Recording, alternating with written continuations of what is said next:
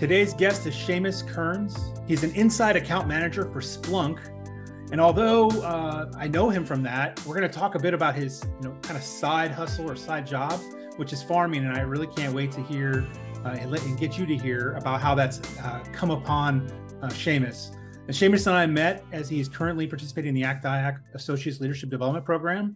And so thank you for joining me today. Yeah, thanks for having me, Jeremy. I appreciate it. Looking forward to talking about uh, some of the pretty wild things that happen uh, here on the farm.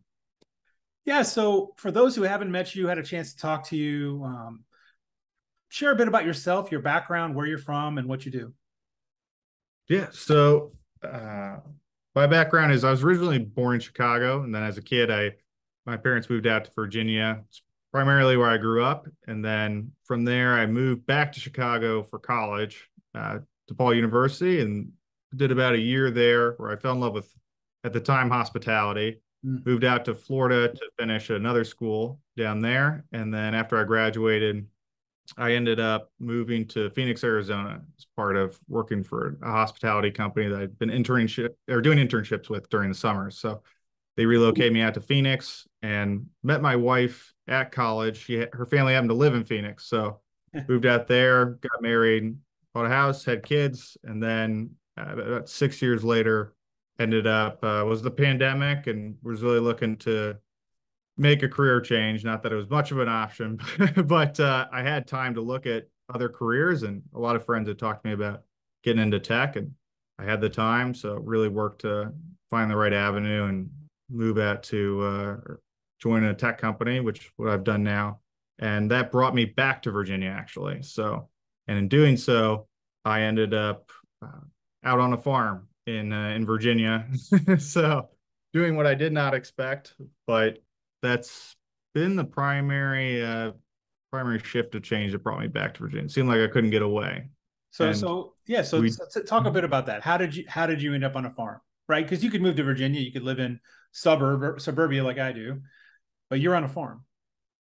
Yes. So we well um, put it this way. Well, there was we we used to live out in the country out here on the weekends. There was a, a small place my parents had bought, and it was a rinky dink shed. that uh, really taught us the outside of Tyson's life that, uh, that we were exposed to. You know, no DC, that's for sure. And from there, we spent about 12 years on the weekends and summers coming down to this area, just actually a couple miles from where I am now. And my parents would we would go around to different areas. My parents would offer out our help. Like I got some young boys, free help, whatever you need done. they're they're there to do it. So that taught us a lot of uh, a lot of manual labor and a lot of the things that went behind what we saw on the shelves that you see in the store that come so readily and what went behind it. So for us, it was really it was a big learning experience. And we well, there are plenty of funny stories about that house, but I remember we had uh, the floors were so thin that you could there was little cracks in between. It was just one piece of wood, and we would be right over my mother's as uh, my brothers and I, and we would drop little spiders down on spring on strings over her while she was cooking. didn't uh, didn't end well. didn't end well for us, but that uh, they sold the place, and a couple years later, they ended up buying another place out here as their final destination after they were, were looking to retire, and ended up being a little bit more than they could chew as far as property. And the previous guy had uh, he had lost his wife and tried to keep the place for a couple of years, but you just kind of lose some motivation there, and the place kind of uh, it, it felt its age to say for quite a while and passed over to them but the way that I ended up here was when I found out I was moving back to Virginia, I had a year heads up, year notice, and they were looking to re- either renovate the place or bring it back up to snuff. A lot of things were falling apart and need to be brought back to code and et cetera, as far as uh, moderni- modernizing the place. But I had a heads up, told them, and they said, hey, this might be a win-win. If you're coming, if you're moving back and you only have to go in the office two days a week, market prices, great time to sell, terrible time to buy. uh, why don't you maybe live in the old place and renovate it and take care of the farm and the property? And then it'll actually be cheaper for us to to build our own little little space next door, and uh, it'll be a win win for us. We'll still be separate, but uh, together, which uh, my wife's happy about. But that uh, that's how I came about being at the farm. And yeah, you know, that's not that's not uncommon, right? For farm farming families, right, to have multiple living spaces on a on a farm property. Yes, yeah. There's a surprisingly a lot of uh, almost valuing a lot of houses out here is how many outdoor buildings do you have? Seems to be a big focus when when people go around looking for property. But yeah, that's uh the more buildings the better apparently. Right. So that obligates you to help at the farm to do the farm, right? Uh, what does that mean? So for us, uh, or at least for myself, I should say, uh, would be maintain uh, bringing it bringing it back from uh, anything that's that's fallen away to to regular maintenance. So repairing fences that have gone down, to uh, relocating uh, fallen trees, anything that's that's taken out a fence or taking out trees or the rocks that are taken out or interrupting fields and cutting from anywhere from that to I would say replacing drive, you know, you're having to cut up pieces of driveway and re-asphalt them or hmm. put in, put down new tar and chip, pave roads back down through the woods, whatever you need to do to try to bring everything back that's kind of grown over is one portion. But then regular maintenance is having to get up and clear out whether it's been trees that are growing out through the fields or having to spray thistle and keep everything the fields clear for cutting to cutting them themselves, which happens about twice uh, twice a year, depending on how many cuts you're looking to do, if it's treated or not. And right now, we don't treat the the hay as it's the cost and demand for it's not that high. It's not worth it at that point. So just doing spot treatment of weeds and thistles, things that might make it on the lower end quality for a bale mm. is typically what we do, but not uh, not like nutrition uh, spraying or anything like that. It's going to be heavy for the growth. But from that, we typically do a couple times a year. That gets cut and then baled, and then that's used to feed cattle at another farm. And so, how many how many acres uh, are you managing then? It's seventy five acres for this side. Yeah. So what is so what is seventy? So, so for, for those people who don't have acreage, right, uh, backyards, what, what what does that mean in terms of like the time it takes to walk through it, to do the spraying you're talking about, watching for uh, trees or debris that you need to get out of the way so you can cut? What what what's that time commitment? So it uh, it can be quite a bit of time. I'll say the speed at which you drive a tractor is not very fast.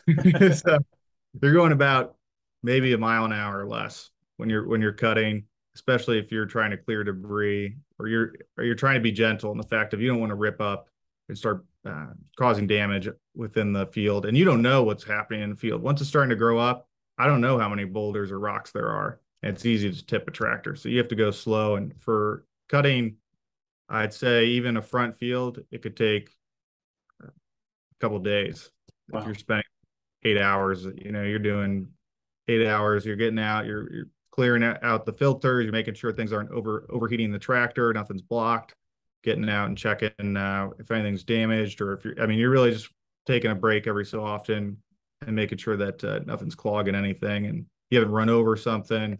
You don't have uh, any issues going on or both blades are running on a bush hog. Just, yeah, just honestly, the time it takes to check and recheck and make sure everything's going before you wasted five hours cutting and only one blade was working. You, it's, uh, it's surprisingly time consuming for, uh, yeah. for what it is. Do you end up drafting your family to help with that kind of work? Uh, I do try to get my brothers up here pretty often to to get their help, and uh, but one of them he's big into hunting, so he's usually out there trying to trying to hit something or land something. But from uh, my other brother, he's got plenty of kids. He's pretty busy, and but when he comes out here, he's always eager to take a break from them too and get out there and, and help. So, which is great. But the, yeah, that's so not say it's total family business, but uh, on the weekend, sometimes it is. Sure. So is that is that something you have to deal with on a daily basis? Are you are you going out in the fields or walking around the property before you head off to Splunk, or yeah. is it something you can manage kind of on a weekend basis? Um, I would say it's I could probably do it 24 7 for a year and not uh not fulfill everything that needs to be done. needs to be done. So it's uh I think as you go along and I when I got here, the more you do, the more things you find. Hmm. And that's the list just gets longer as you feel like you're checking it off. You got two or three things to add to it. Um, typically, not every morning, but a couple mornings a week, I do. I'll get up early and and check around whether, let's say, has there been damage or a fence fallen or something that may have come or trespassers. You run into that sometimes too, surprisingly. But the afternoons is usually when I try to get something done. And whether it's during lunch breaks, I'll go out and start pushing out trees or things that are growing in the field, spraying, getting rid of uh, anything that's being, uh, I would say, kind of an infiltration of the of the fields. But uh, usually on the nights after the kids go to bed is sometimes when I'll go out and, and do a lot of stuff. It's a little easier for me to. I'm more of a night owl, so if I can go out there, there's enough lights on the tractors to see and you can get get plenty of work done there as well at night but just depends on what i'm doing some stuff you got to do while it's daylight don't want to run over something and cause quite a bit of damage or find myself stranded mm. pretty far from the barn wow so coming back to virginia are you a natural farmer or is this something you had to rely on others to help educate you uh, not a natural farmer at all. uh, I'm still learning. I'm still learning the mostly the hard way but uh, there is a there's a gentleman that we met actually when I was kids. I knew him. He sold us my our first little farmhouse out here that my parents had, and then he gave us you know, my first pocket knife, first BB gun. This guy's been teaching us the ropes as far as being out here, and he himself is a he's actually a full time realtor, full time farmer. He's got hundreds of acres and hundred cattle. He's he does it all. So that's everything I've learned from is from him. It's a guy, Steve Sager, that knows everybody in the town. He's just that guy that you learn from. Nice. It's always good to have a community like that, right? Um, you hear that a lot in, in agriculture communities where people help each other. You don't hear that so much in the suburbs or in Tyson's or DC. That's true. This is definitely an area where everyone waves. Put it that way when you're when you're driving. So as you've been doing this, uh, what's some you know and you're and you continue to manage this farm and you're figuring out things as you go uh, what about this experience you think is making you a better person when it comes to your your full-time job here you know at splunk i would say for me it would be just really learning the harder side of things it could be when you when you're really down and out in the middle of, of nowhere and you don't have much to you don't have much to work with and something goes wrong it's a lot. It's you're you're really gotta be in real survival mode. And so when something at work happens, it's almost like I could. This isn't the end of the. This isn't the end of the world. I, this isn't gonna. I'm not stranded out somewhere and having to move some heavy machinery up a hill. Or this can be overcome. It's no small. uh It's not the end of the world compared to what I could run into outside of work. So, it, I think it's helped give a little bit of a better perspective into issues and challenges that I run into at work. Oh, I think we could all use that. Sometimes when we have an IT issue, we think it's the end of the world, right? yeah, it does. so, so what's next for you? I mean, in, in terms of this farming thing, is this uh is this a new lifestyle for from here on in? Is this a a temporary journey, or how do you picture it for yourself?